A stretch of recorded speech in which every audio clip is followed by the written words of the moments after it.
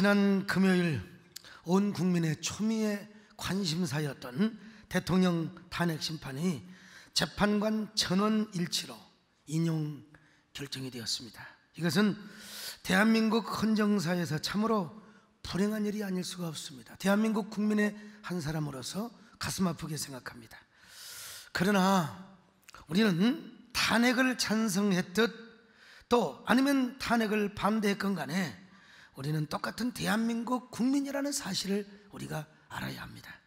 촛불 집회를 참석을 했건 또 태극기 집회를 참석을 했건 나라와 민족을 생각하고 걱정하는 마음은 하나였습니다.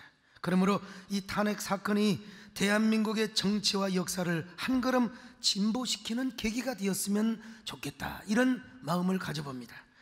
그리고 또 지난 4개월간의 분열과 대립을 극복하고 통합과 그리고 화해의 시대로 앞에 우리 대한민국의 미래를 여러 가지 안아야 한나 그런 마음을 가져봅니다. 탄핵 반대 진영에서는 정말 충격이 크고 상처가 클 것입니다. 아마 태극기 집회에 열심히 나갔던 분들은 마음에 큰 상처가 있었을 것입니다. 그러므로 그럼에도 불구하고 탄핵 찬성 진영은 반대편을 포용하고 배려하면서 우리 대한민국 국민이 하나가 되었으면 좋겠습니다. 그리고 마음의 상처를 가졌던 분도 다 대한민국을 사랑해서 그런 집회를 했기 까닭에 우리는 더 나은 그리고 더 큰 대한민국을 이루어 가야 할 것입니다. 특별히 좀 염려되는 것이 있습니다. 탄핵 사건을 통해서 대한민국의 건국 이념과 가치가 훼손되는 분위기로 치닫아서는 절대로 안 될 것이다. 그리고 국가 안보의 해이함과 사회주의의 문화와 제도가 쓰나미처럼 몰려오는 계기가 되어서는 더더욱 안 된다는 것입니다. 그리고 교회 생태계를 깨뜨리는 반기독교적인 법안들이 제정되는 분위기로 흘러가서는 절대로 안 된다는 것이죠. 한국교회는 이를 위해서 기도하고 특별히 사회적 중재의 역할을 해야 할 때라고 생각합니다. 그런데 이 일을 하기 위해서는 반드시 뭐가 필요하느냐? 사랑이 필요합니다. 사랑의 정신과 사랑의 마인드가 필요한 거예요. 그러므로 한국교회가 통합과 화해에 그리고 사랑의 리더십을 발휘했으면 얼마나 좋을까. 여러분들이 이 일에 앞장설 수 있기를 바랍니다. 오늘 본문에서도 사도 바울은 사랑의 가치와 절대성을 강조하고 있습니다. 우리 그리스도인에게는 사랑이 반드시 필요하다는 것이죠. 아니, 사랑의 은사가 없는 한 다른 모든 은사는 다 소용이 없거나 내지는 무가치하다는 것입니다. 바울은 아주 극단적 표현을 썼습니다. 당시 고린도 교회는 지나치도록 은사에만 집착하여 시기와 질투가 가득했기 때문입니다. 먼저 사도 바울은 우리가 아무리 방언과 천사의 말을 할지라도 사랑이 없으면 아무것도 아니라는 사실을 역설하고 있습니다. 자, 13장 1절을 같이 보실까요? 시작. 내가 사람의 방언과 천사의 말을 할지라도 사랑이 없으면 소리 나는 구리와 울리는 꽹가리가 되고 여기서 말하는 방언은 사도행전 2장에 나타난 방언과는 다릅니다. 사도행전 2장에서는 성령 충만을 받은 사람들이 이게 외국어를 한 번도 배우지 않았지만 자기가 하나님의 능력으로 하나님의 큰 일을 다른 나라 방언으로 선포를 했던 방언입니다. 그러나 오늘 어, 이 고린도전서 13장에서 사도 바울이 언급했던 바울의 이 방언은 어, 고린도 교인들이 하나님 앞에 기도할 때 은사로 어, 지금 기도하고 있는 방언을 의미하고 있는 것입니다. 여러분 만약에 똑같이 기도하고 있는데 어떤 사람은 막 신비한 방언, 신비스러운 방언으로 기도하고 어떤 사람은 우리 한국말로 방언을 해봐요. 그러면 이 신비스러운 방언한 사람을 막 부러워하고 굉장히 신비스럽게 생각할 수 있을지 모르지 않겠습니까? 고린도 교회도 마찬가지 방언을 받은 사람이 있었고 안 받은 사람이 있었어요. 그러나 성경은 말씀해요. 아무리 아름다운 방언을 하고 능력의 방언을 한다 할지라도 사랑이 없으면 아무 소용이 없다고 성경은 말씀하고 있습니다. 천사의 말도 마찬가지입니다. 당시 고린도와 아테네에서는 위대한 웅변을 천사의 말로 여겼습니다. 당시 유명한 웅변가인 디모스테네스, 소포클레스 언어의 직공이었고 위대한 웅변가였어요. 이런 사람들이 말을 천사의 말이라고 그렇게 일컬었습니다. 그런데 아무리 웅변을 잘하고 아무리 설교를 잘하고 그의 스피치가 천사의 경지에 오른다 할지라도 그러나 사랑이 없으면 울리는 징소리에 불과하고 꽹가리 소리에 불과하다는 사실을 말씀하고 있습니다. 사랑이 중요하다는 것입니다. 그러므로 여러분 사랑을 사모하시기를 바랍니다. 사랑의 사도가 되시기를 바랍니다. 사랑의 천사가 되시기를 바랍니다. 아멘. 천사의 말을 사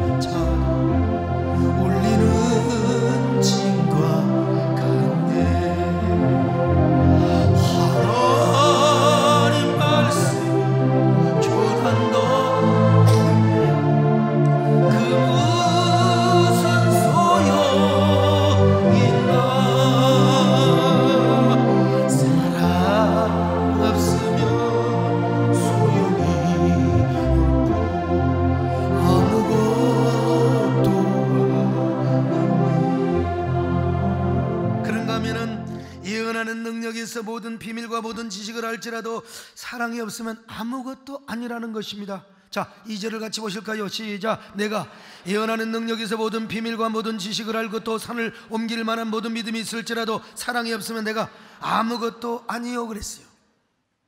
제가 신학교를 들어가기 전에 은사 체험을 했습니다. 그때 말이죠 고등학생이 뭘 한다고 막 방언 기도하고 그러니까 아 여러분 얼마나 신비한지 몰라요. 그래서 남들의 방언을 통역하고 막 예언 기도 그리고 막 지나가는 병자들이 있으면 기도해 주고 싶어서 막 그래요 삐죽삐죽하고 참 근질근질했죠. 신학교 들어오니까 굉장히 잘난 체하고 싶었어요. 그런데 우리 정원사님을 만나서 제가 깨고락지가 됐습니다, 여러분. 우리 권사님은 기도원 하던 시절에 헌금 봉투만 봐도 막 사람을 보고 예언하고 하더라고. 그러나 우리 권사님은요 함부로 예언 안 해요. 기도하고 또 하고 기도하고 또 하고 또 하고 또 하고 성령의 강력한 메시지가 올 때 하지 내가 이걸 제가 배웠습니다. 그러나 여러분 기도하고 또 하고 그럴 필요가 없어 그냥 책 보면은 그냥 금방 모든 걸 알아맞추는 예언의 은사가 있다고 하면은 얼마나 좋았겠습니까? 아니 이번에 탄핵이 될지 안 될지 미리 쫙 그냥 성령을 통하여 알아보러 그리고 다음에 대통령이 누가 될 것인가 그냥 벌써 그냥 쫙 와보러 여러분 그렇다면 제가 만약에 그렇게 예언하는 활동을 한다면 제가 오늘 지금 예배도 5분만 설교하고 빨리 끝내고 헌금봉투 가지고 딱줄 서서 예언 받으러 오는 사람들 아마 수원역까지는 줄 설 겁니다 여러분 예? 그러나 그거 믿지 마세요. 어떤 전도사는 성령의 감동으로 몇 년 전에 대한민국에 전쟁이 일어난다고 얼마나 예언을 했습니까? 그냥 사회적 이슈가 됐잖아요. 근데 사실 안 일어났잖아요. 참 어찌 보면 좀 부끄러워요. 물론 우리가 뭐 기도해서 날 수 있었는데 우리가 기도해서 안 날 수도 있는 것이고 우리는 모든 걸 감사해야 되겠지만 여러분 예언을 그렇게 함부로 국가적이고 대사회적인 예언을 함부로 그렇게 하는 게 아니에요. 노스트라다무스도 다 틀리잖아 지금. 그러나 사도 바울은 역설합니다. 설사 아무리 쪽집기 같은 예언의 은사가 있어서 모든 것을 다 알고 모든 비밀을 다 알고 모든 걸 다 꿰로 본 꿰뚫어 본다 할지라도 사랑이 없으면 아무 소용이 없다는 것입니다. 사랑이 없으면 사랑으로 해야 된다는 것입니다. 그뿐입니까? 산을 옮길 만한 믿음이 있어도 사랑이 없으면 아무 소용이 없다는 거요. 자, 2절 계속 보실까요? 시작. 내가 예언하는 능력에서 모든 비밀과 모든 비밀을 지식을 알고 또 산을 옮길 만한 모든 믿음이 있을지라도 사랑이 없으면 아무것도 아니라네요, 여러분요. 여기 믿음은 구원을 얻는 믿음이 아니에요. 아, 우리가 믿음이 없으면 구원 못 받지요. 믿음으로 구원받은 것이니까. 그러나 여기서 믿음은 은사로서의 믿음이요. 능력 있는 믿음을 말하는 것입니다. 그래서 어떤 사람은 믿음으로 중풍병자를 일으키고 또 장님에게도 눈 뜨라고 하니까 눈이 뜨는 거 아니겠습니까 여러분? 이 산을 명하여 저 산으로 저 옮겨지라 하더라도 여러분 옮겨지는 그 믿음이 있다면 정말 대단한 거지요. 그러나 설사 우리가 이 산을 명하여 저리 움직여지는 그런 기적이 있다 할지라도 그러나 사랑이 없으면 아무 소용이 없다는 겁니다. 사랑의 사람이 되시기를 축원합니다. 그뿐 아니에요 내가 가지고 있는 모든 것으로 구제하고 내 몸을 불살하게 되어준다 할지라도 사랑이 없으면 아무 소용이 없다는 것입니다.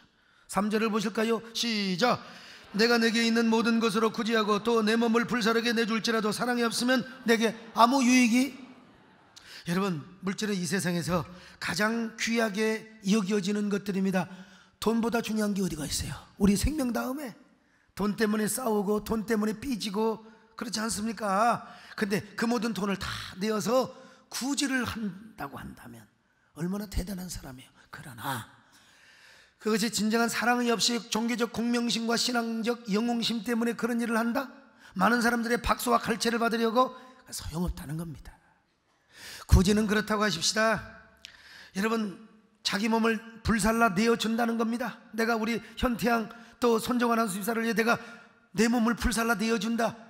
이거 여러분 거의 뭐 순교 아닙니까? 그러나 아무리 위대한 순교랄지라도 거기에 사랑이 없으면 아무 소용이 없다는 겁니다. 하나님을 향한 순수한 사랑과 헌신 때문이 아니라 사람들로부터 인정을 받고 위대한 종교적 영웅으로 기록되기 위해서 순교를 한다. 그 아무 소용이 없다는 겁니다. 아무 소용이 없어. 저는 그런 생각을 해봐요. 과연 그런 일이 있을 수 있을까? 내가 종교적 영웅심을 가지고 종교적인 명예심을 가지고 공명심을 가지고 내가 다른 사람을 위해 죽을 수 있을까? 야, 저 소목사 믿음 대단히 좋은 사람이야. 그런 소리 들으려고 제가 하나님 앞에 순교할 수 있을까? 근데 사도 바울은 그것이 가능하다고 여겨지니까 이런 소위 말하면 극단적인 표현을 하고 있는 것입니다. 그러나 여러분, 그런 일이 가능하다 할지라도 사랑이 없으면 아무 소용이 없다는 것입니다. 사랑이 중요하다는 거예요. 그러므로 사랑하는 최고의 은사입니다. 최고의 능력입니다. 여러분 사랑을 가지시기를 바랍니다. 병 고치는 능력보다도 사랑이 더 위대함을 아시기를 바랍니다. 그러므로 우리는 하나님을 사모하되 하나님의 은사를 사모하되 사랑의 은사를 사모하시기를 바랍니다. 사랑의 능력을 사모하시기를 바랍니다. 모두 사랑의 사람이 되시기를 바랍니다. 사랑의 사도가 되시기를 바랍니다.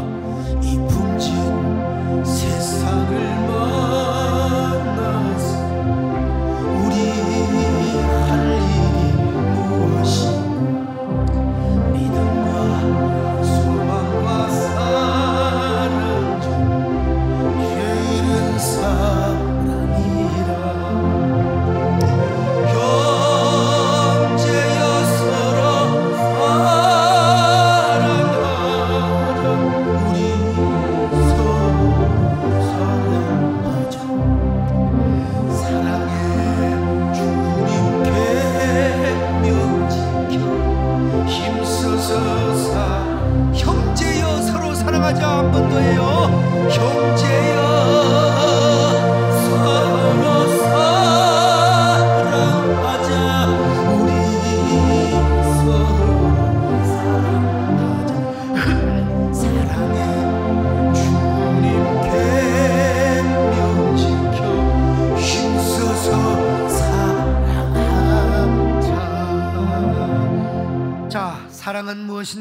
사랑이 무엇이냐고 물으신다면 사랑은 정의 될 수 없어요.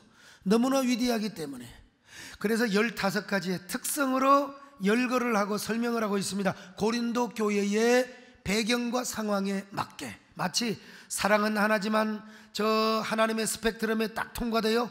그러니까 결국 사랑이 15가지로 에, 설명이 되고 나타나더라는 것입니다.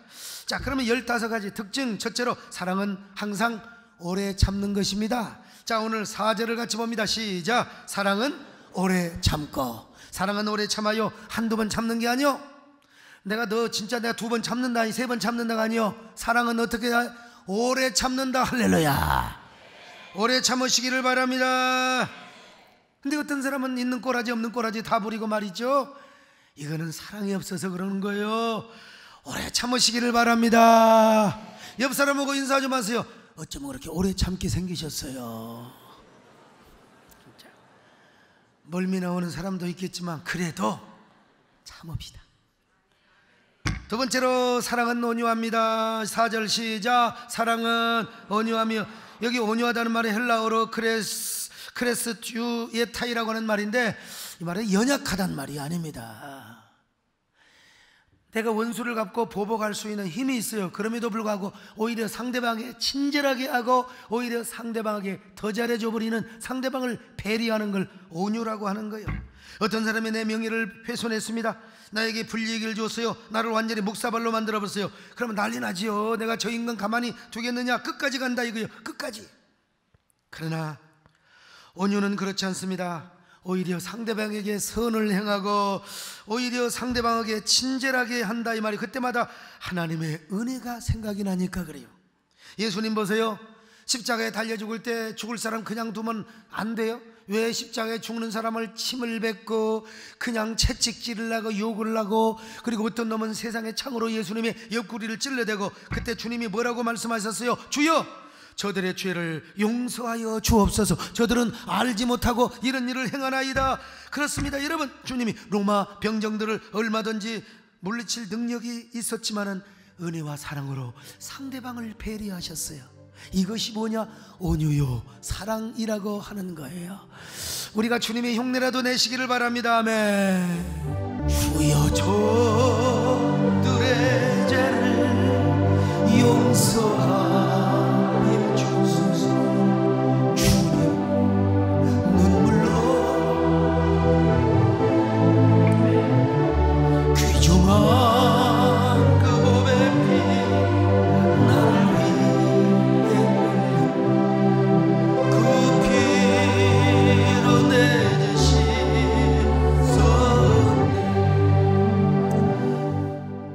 여러분은 어떤 사람입니까? 참 이 말씀 앞에 우리가 얼마나 초라하고 아이고 여기저기 전화해가지고 조사하고 그냥 내 명예를 씻어달라고 말이죠.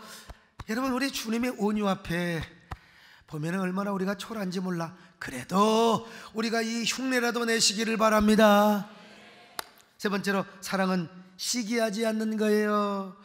자 여기서 고린도 교회 심각한 문제가 뭐냐 시기였어요 고린도전서 13장 4절 한번 보실까요? 같이 봅니다 시작 시기하지 예수 믿는 사람끼리 시기하면 되나요? 그런데 고린도 교인들은 시기했다니까요. 자, 고린도전서 3장 3절입니다. 시작. 너희는 아직도 육신에 속한 자로다. 너희 가운데 시기와 분쟁이 있으니 어찌 육신에 속하여 사람을 따라 여러분 이게 시기하고 질투하는 게 뭐냐? 영이 아니라 이게 육신이 그러는 거예요, 육체. 그러니까 형제간에도 시기하니까 가인이 아벨을 돌로 쳐서 죽였잖아요. 우리 마음속에 얼마나 살인하고 얼마나 마음속에 미워합니까? 이거는 우리가 계속해서 계속해서 살인죄를 짓는 것입니다. 여러분 시기하지 마시기를 축원합니다. 네 번째로 사랑은 자랑하지 않습니다. 4절을 계속 봅니다. 시작. 사랑은 자랑하지 아니하며 여기 자랑한단 말은 헬라어로 페르페리에타이란 말인데 바람주머니 고무풍선에다가 잔뜩 부풀려 가지고 그러니까 자신의 업적이나 자신의 행적을 막 지나치게 뻥튀기 하는 거 이걸 자랑이라고 하는 거예요. 그것도 하나님의 영광을 여는 것도 아니요. 교회를 위한 것도 아니요. 자기를 높이려고, 자기를 자랑하려고. 사실은 저도 소시적에는 그런 게 왜 없었겠습니까? 참 개척교 때 봉고차 하나, 어? 정말 사니까 아이 어느 목사님은 봉고차도 없어가지고 그래서 봉고차 끌고 다니는 걸 너무 자랑했다니까. 참. 그러면서 지나가면 빵빵하고 내가 진짜 창피해 죽겠다니까요. 창피해 죽겠어. 물론 제가 이제 인간적으로 소통하기 위해서 뭐 인간적인 이야기도 할 때가 있고 또 하나님이 주신 저희 장기를 자랑할 때가 있지만 이제는 안 합니다. 저 자신의 헛된 영광을 드러내기 위해서 자랑하는 것은 금기사항으로 두고 있어요. 여러분, 그것이 사랑이기 때문에 자랑하려면 주 안에서 자랑하시기를 바랍니다. 주님의 이름으로 하시기를 바랍니다. 다섯 번째로 사랑은 교만하지 않는 거예요. 자, 4절 계속 보실까요? 시작. 교만하지. 이게 교만이란 말이 헬라어로 피시오타이란 말인데 자랑했던 것을 또 튀기는 거예요. 자랑했던 것을 또 뻥 튀기 하는 거예요. 그러니까 이런 사람은 자기 어떤 사람인 줄을 몰라. 계속해서 자기 분수를 모르고 주지 파악을 못 하는 거예요. 맨날 까불고 다니는 사람입니다. 그런데 하나님 이런 사람을 싫어하는 거예요. 교만한 사람을 싫어하는 거예요. 자, 잠언 8장 13절입니다. 시작. 여호와를 경외하는 것은 악을 미워하는 것이라. 나는 교만과 거만과 악한 행실과 폐역한 입을 미워하느니라. 자, 베드로전서 5장 5절도 보실까요? 시작. 겸손한 자들에게 하나님은 겸손한 자에게 은혜를 주세요. 할렐루야. 교만한 자에게는 있는 것도 가져가신다 이 말입니다. 네, 여섯 번째로 사랑은 무례히 행치 않는 거예요. 무례히. 자, 5절로 계속 봅니다. 시작. 무례히 사랑은 무례히 행치 아니한다는 것입니다. 무례하단 말이 헬라어로 아스케모네이란 말인데 공정치 않게 부당하게 남을 배려하지 않고 예의를 갖추지 않고 대우하는 것입니다. 그래서 이기심과 욕망을 가지고 막 자기 멋대로 말을 해서 남에게 상처를 주고 공동체의 질서를 깨뜨리는 걸 말해요. 우리 하나님은 질서의 하나님이고 화평의 하나님이신데 말이죠. 여러분 말 함부로 하지 마시기를 바랍니다. 무심코 말을 뱉었는데 남이 상처받으면 안 돼요. 상대방에 대한 배려를 하면서 우리 열심히 좀 조심스럽게 말을 좀 하십시다, 여러분. 일곱 번째로 사랑은 자기 유익을 구하지 않는 것입니다. 고린도전서 13장 5절입니다. 시작. 자기의 유익을 구하지 아니하며.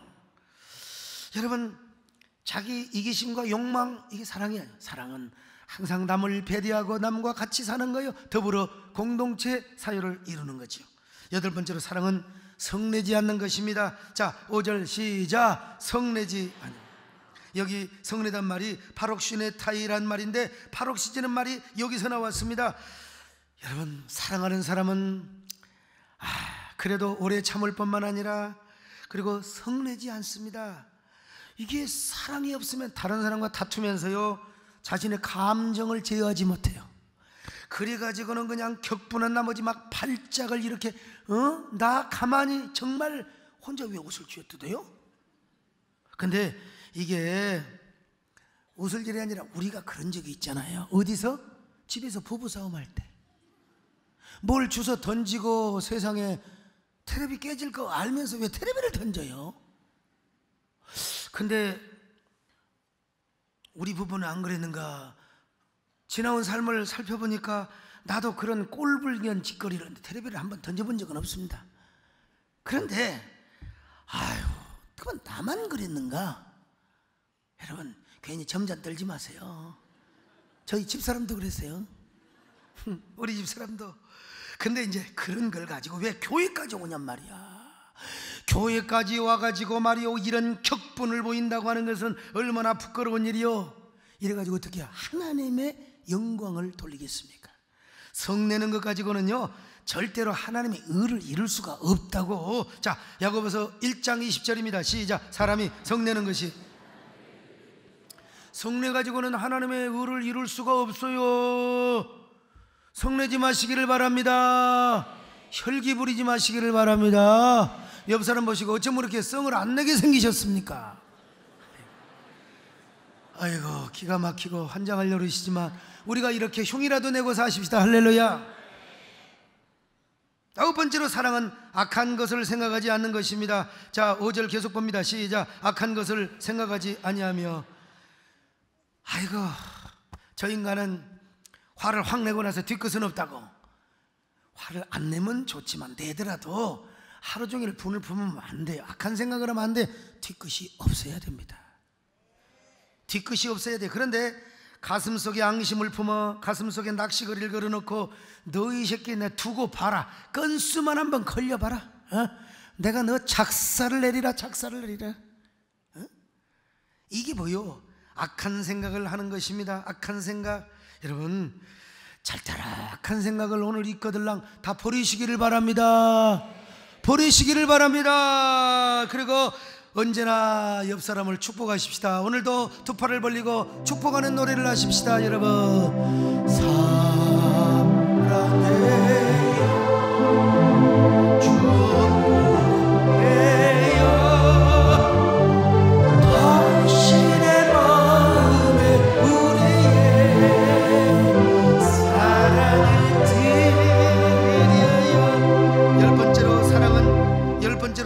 불의를 기뻐하지 않는 거예요. 불의와 함께 갈 수가 없어요. 절대로. 그러니까 사랑하는 사람이라고 불의 있는 사람 덮어주고 다 친해지라 그게 아니요. 불의와 함께 할 수가 없어요, 사실은. 예. 그러니까 불의를 도와줄 수가 없다 이 말이에요. 불의를 도와줄 수가 없어.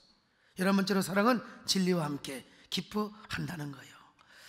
열두 번째로 사랑은 모든 것을 참는 것입니다. 자, 13장 7절 같이 봅니다. 시작. 모든 것을 참으며. 오래 참을 뿐만 아니라 모든 것을 참아요. 여기서 참는단 말은 헬라어로 스테고란 말인데 지붕처럼 덮어준단 말이에요. 여러분 지붕이 없으면 집이 어떻게 되겠습니까? 눈비가 오고 바람 불고 난리가 나는 거요. 그래서 샘과 야벳은 아버지의 수치를 덮어줬잖아요. 덮어줬어요. 그러나 함은 까발리고 다녔습니다. 그래서 성경은 뭐라고 말해요? 사랑은 허다한 죄를 덮는데요. 여러분 덮어주시기를 바랍니다. 자 베드로전서 4장 8절 시작 무엇보다 뜨겁게 서로 사랑할지니 사랑은 허다한 죄를 덮느니라 그랬어요. 불의와 함께하지 않는다고 해놓고 왜 또 죄를 덮으라고? 아니 불의와 함께한다 불의한 사람과 같이 짝짝을 해가지고 그 사람을 도와주는 거 안 돼요. 그러나 여러분들이 끝없이 계속해서 고발하고 고소하고 까벌리고 그러지 말라 이거요. 사랑은 뭐요? 덮어주는 겁니다. 상대방의 약점이 있어도 부부간의 약점이 있어도 덮어주는 거요. 까발리지 마시고 언제나 여러분 할 수 있으면 덮어주시기를 바랍니다. 할렐루야. 열세 번째로 사랑은 모든 것을 믿는 거요. 믿는 거요. 자, 17장 7절입니다. 시작. 모든 것을 믿으며. 여러분 사실이어야만이 믿습니까? 진실이어야만이 믿습니까? 사랑하니까 믿을 때도 있는 겁니다. 솔직히 내 자녀가 늦게 들어온 자녀가 거짓말을 분명히 미금역에서 놀았어 저 PC방에서 삐삐삐하고. 근데 왜 늦게 오냐 그랬더니 독서실에 갔다 온다네. 야 이 새끼야 너 그러면 얼마나 하겠어요? 그냥 특별히 나쁜 짓 하는 거안 했으면은 그냥 한두 번 몇 번 좀 믿어주세요 그냥. 예, 믿어주세요 정말 남편을 사랑하면 좀 몇 번 믿어주세요. 우리 여성도들이요. 정말 남편을 사랑하고 믿는다면 맨날 남편 잘 때 핸드폰 뒤지지 마시고 블랙박스 뒤지지 마시고 어? 좀 예, 저희 집사람도 가끔은 정기적으로 제 핸드폰을 검열할 때가 있습니다. 예, 뭐 저는 보라고 놔두지요. 근데 이제 좋은 부분이 있어요. 스팸 같은 거 난 어떻게 지울 줄을 모르거든요. 집사람이 다 처리해주고 그런 또 이득도 있어요. 근데 우리 부목사님, 사모님들은 절대로 그러지 마시기 바랍니다. 담임 목사님, 사모님도 핸드폰 뒤지는데 그러면 안 돼요. 난 누가 뒤지는 거 다 알고 있습니다. 그런 분 다시 또 정보가 들어오면 내년 사례비는 고정화 시키겠습니다. 어떤 남편이 늦으니까 아내가 전화를 했어요. 그래 남편이 어디 있느냐? 거래처에 있어 여보. 오늘 다 늦을 거야. 거래처에 있다. 근데 그 거래처는 딴 곳이 아니라 그 술집 상어였어요. 장로님들 이런 사람 어떻게 해야 돼요? 혼내줘야죠. 그러나 사랑으로 혼내시기 바랍니다. 그거 한 번 그런 것 가지고 뭐 그냥 계약서 쓰자, 이혼하자, 그러면 안 되지. 이혼이 누구 장난입니까? 거래처 있다고 했잖아요. 좀 신뢰와 믿음으로 혼내시기를 바랍니다. 열네 번째로 사랑은 모든 것을 바랍니다. 바라지도 소망하지도 않으면 사랑이 없는 거예요. 아이고 나 저 인간으로 못 살아. 저가 제가 소망이 없어. 그러면 안 돼. 그래도 바래야 됩니다. 저거 저거 저거 저거 저거 아 이놈 뭐 우리 아들 제가 난 소망이 없다고 그러면 안 돼요. 저는 그런 기억이 납니다. 제가 교회 다니고 신학교 간다 오니까 저희 아버님이 나가서 뒤져버리는 놈아 뒤져버려 뒤져버려 그래서 제가 진짜 죽으려고 하는데 누가 순교를 시켜주는 사람이 있어야지. 여러분, 소망을 가지시기를 바랍니다. 저희 아버님 몰라서 그랬지만은, 여러분, 하여간 여러분 자녀, 여러분 남편, 소망을 가지시기를 바랍니다. 열다섯 번째 마지막으로 사랑은 모든 것을 견디어요, 견디어, 견디어. 남편이 어떻게 잘못해서 부도나가지고 지금 새빵살이로 갔어. 그래도 견뎌야지요. 어떨 겁니까? 공동 운명체 아닙니까? 견뎌야지요. 사랑해 본 사람은 알 수가 있어요. 자, 13장 7절 시작. 모든 것을 바라며 모든 것을 견디느니라. 여러분, 사랑의 은사를 구하시기를 바랍니다. 사랑의 사람으로 살아가시기를 바랍니다. 여러분의 신앙의 인격이 사랑의 스펙트럼이 되시기를 바랍니다. 자, 이 15가지를 노래로 한번 불러 보십시다. 사랑은 언제나 오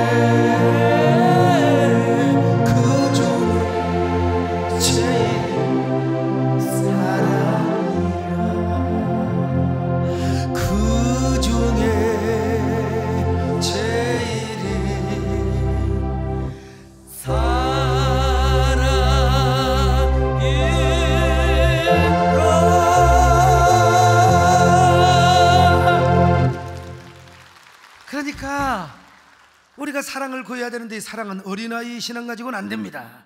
왜 어린아이는 이기심만 있으니까 맨날 복 달라고 하니까. 그러나 그리스도의 장성한 분량에 이르기까지 자란 사람 그리고 사랑의 은사가 있는 사람은 이 말씀대로 사랑할 수가 있어요.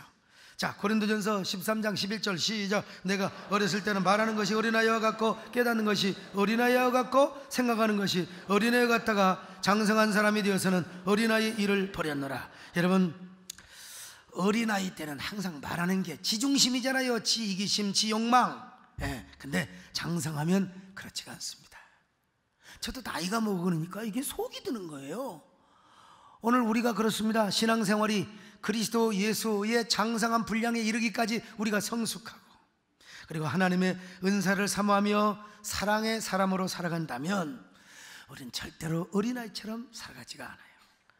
우리가 이 땅에 살면서 사랑의 삶을 살아가는 것을 연습해야 천국에 가서 장성한 사람의 대우를 받고 온전한 사람으로 살아가는 것입니다. 왜냐하면 천국 가면 목사도 존재하지 않아요. 천국 가면은 예언도 필요 없어요. 설교도 필요 없습니다. 능력도 필요 없어요. 오직 존재하는 게 뭐냐? 사랑만 존재하는 겁니다. 사랑입니다. 사랑입니다. 그래서 성경은 이렇게 말씀하고 있어요. 고린도전서 13장 13절 시작. 그런즉 믿음, 소망, 사랑 이 세 가지는 항상 있을 것인데 그 중에 제일은 사랑의 은사를 구하시기를 바랍니다. 지금 우리 대한민국은 사랑이 필요합니다. 에덴의 동쪽처럼 서로 두 진영으로 도대체 무슨 전쟁을 하는 겁니까? 이제는 정치로 돌아가야 됩니다. 이제는 서로 사랑해야 돼요.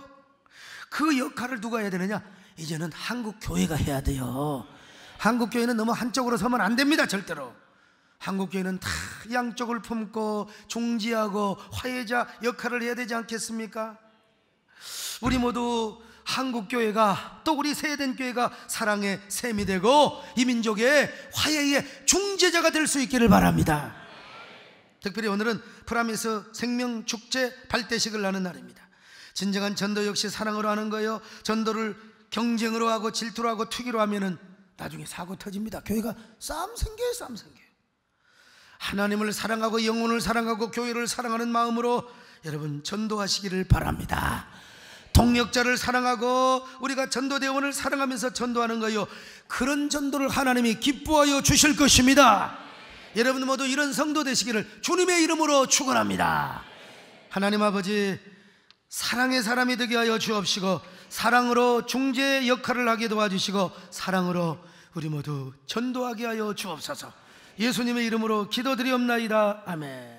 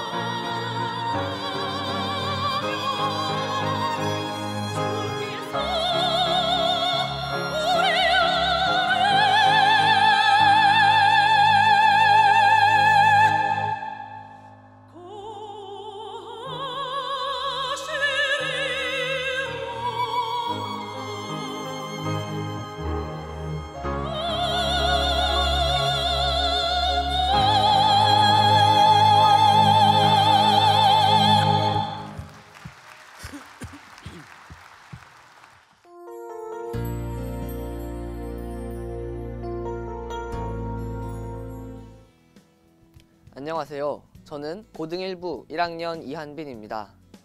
올해 저는 아주 뜻깊은 새학기를 시작하게 되었습니다. 지난해 이맘때쯤 하나님께서는 새학년 새 출발을 위한 특별 새벽 기도회에서 대표 간증의 자리에 저를 세워주셨습니다. 그때 전 믿음의 확신을 갖고 두 가지 기도 제목을 선포했습니다. 중등 일부가 300명의 예배자를 이루는 것과 원하는 고등학교에 진학하는 것이었습니다. 하나님께서는 이 모든 것을 완전히 이루어 주셨습니다. 6월 19일 새생명 축제에서 300명의 예배자를 경험하게 하셨고 지난 11월 30일에는 기도하며 준비했던 용인 외대부고의 합격 소식을 듣게 되었습니다. 이 모든 것이 정말 하나님의 은혜요 인도하심이었습니다. 제가 이렇게 자신있게 고백할 수 있는 것은 새에덴의 언약의 하나님, promise complex 약속의 하나님이 저를 통해 일하고 계신다는 것을 믿기 때문입니다. 어렸을 적부터 저는 부모님을 통해 새에덴의 promise complex, 축복의 언약의 주인공이 바로 우리 자녀들이며 나를 통해 그 약속이 이루어 주실 것을 항상 말씀해 주셨습니다. 그리고 그 사명감을 가지고 항상 앞에서 본이 되어야 한다고 가르쳐 주셨습니다. 또한 할아버지와 할머니, 외할머니까지 어른들은 저희가 목사님께서 항상 선포하시는 언약의 성취자가 되길 바라며 기도의 지원을 아끼지 않으셨습니다. 그리고 6살에 쉐마 Kids School 입학을 시작으로 새에덴의 온전한 교육을 받으며 자라왔습니다. 이곳에서 초등학교 3학년이던 어린 나이에 참전 용사 초청 행사를 통해 미국 대사관의 초청을 받아 스티븐 대사와 대화를 할 수 있는 기회를 가졌고 13살 때는 비전스쿨 장학생으로 미국 공립학교에서 한 달간 유학 생활을 경험하였습니다. 바로 이런 경험들이 제 시야를 확장시켜 세상을 보다 넓고 깊게 바라보며 더 큰 꿈을 갖도록 했습니다. 또 쉐마 리더십 스쿨의 중국 탐방을 통해 우리나라의 뼈아픈 고난의 역사를 몸소 체험하며 저의 정체성을 확립하고 바른 역사관과 민족의식을 갖게 되었습니다. 그래서 목사님께서 늘 선포하시던 세상을 섬기고 역사와 사회에 빛을 발하는 사람, 그 리더자가 내 비전이 되어야 한다는 분명한 소명감을 갖게 되었습니다. 이 꿈과 비전은 제게 주신 하나님의 언약이기에 공부를 하면서도 하나님을 의지하며 나아갔습니다. 먼저 하나님을 앞세우며 나아갔습니다. 주일 성수와 교회 학교 프로그램에 집중하기 위해 주말에 열리는 외부 프로그램을 포기했습니다. 학원의 일정에 끌려가기보다는 예배를 먼저 앞세웠고 교회 학교 수련회를 택했습니다. 남들보다 뒤처진 학업을 따라잡기 위해서 혼자 채워 나가야 하는 것들이 많았습니다.